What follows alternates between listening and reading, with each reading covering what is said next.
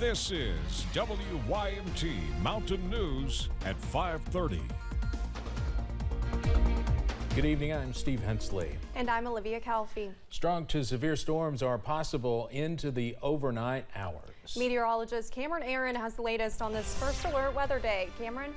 Yeah, guys, we are watching out for some showers this evening, but no severe weather across the mountains right now. That's the good news, but that could change as we go later on into tonight. Here's a live look at the radar. As you can see, a few showers, mainly over the Big Sandy at this hour, moving into portions of southern Floyd County, also into Pike County as well. So just a heads up in Pikeville, a few showers are possible over the next few minutes. Also watching out for some heavier showers now in Lawrence County, also in Martin County as well. And this will this will continue pushing off into West Virginia over the next few minutes. We do have a new severe thunderstorm watch for portions of western Kentucky, and I'm highlighting this because whatever forms here is going to move east into our region as we go into tonight. So not that first round wasn't the end of this. We still have another round to go as we go further on into tonight, also into Tuesday morning. A level one risk of severe weather in place for most of the region, a level two risk for our western and northern counties. Those full details coming up on in in just a few minutes on what we can expect as we go into tonight.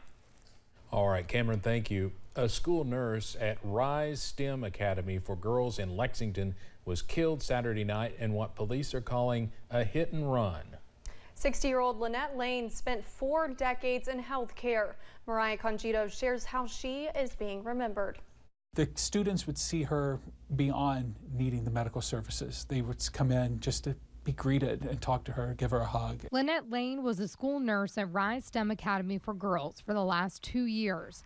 This position is employed by the Fayette County Health Department, who shares what she meant to those who had the pleasure of knowing her.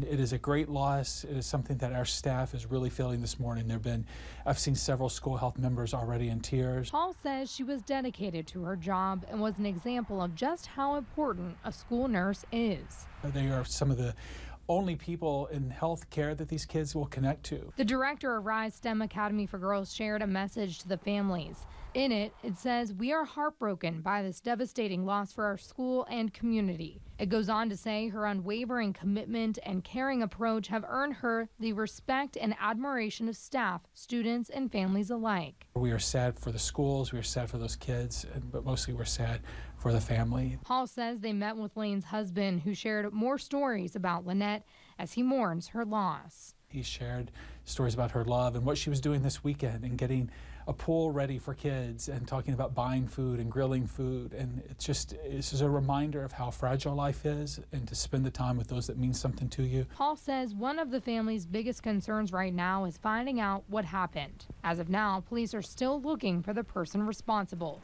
Mariah Congito, WKYT.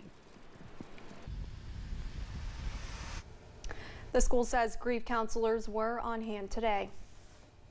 Immigration and Customs Enforcement has placed a detainer on the former University of California Davis student charged in a series of recent deadly stabbings. An ICE official says the agency is requiring is requesting Carlos Dominguez be transferred into their custody should he be released by the Yolo County Sheriff's Office. Dominguez is charged with two counts of murder and one count of attempted murder for three stabbing attacks that terrorized the California college town during the span of a week. Two men died in separate incidents and a woman suffered critical injuries in a third. Dominguez entered a not guilty plea when he was arraigned on those charges last week. Investigators are looking into whether the shooter in this past weekend's deadly mass shooting at an outlet mall outside Dallas had links to a neo-Nazi group. The gunman killed eight people and injured seven others Saturday afternoon before a police officer killed him. CBS's Omar Villafranca reports from Allen, Texas. Mourners in Allen, Texas stopped by the growing memorial to the victims of this weekend's mass shooting. Dozens of shots rang out at the busy outlet mall near Dallas on Saturday. When I started to hear the rapid fire, the nonstop fire, that's when I knew it was real. Joshua Barnwell was shopping for new jeans when the gunfire started. He rushed to help the victims. There were so many injuries, I couldn't even come close to compress every area. Would you want to talk to the people that you help? I would, and not, again, not for any glad handing. I would just want to see them and let them know that um, I'm glad they're here. I really am. Law enforcement sources tell CBS News the shooter, seen here in dashcam video we've frozen, was wearing body armor and was heavily armed. Police say he was killed by an officer who happened to be at the mall. Two law enforcement sources tell CBS News that the shooter had a patch on his clothing that said RWDS. They believe that stands for Right Wing Death Squad, associated with extremist right wing neo Nazi groups. An Army spokesperson says the shooting suspect joined the service in 2008, but never completed basic training. An Army official tells CBS News his separation three months later was because of physical or mental conditions. Omar Villafranca, CBS News, Allen, Texas. Authorities have not provided details about the victims yet, but the family of 20 year old Christian LaCour identified him as one of the victims. He was working as a security guard at the mall. Police in Brownsville, Texas have charged a man in connection with the deadly crash Sunday outside a migrant center.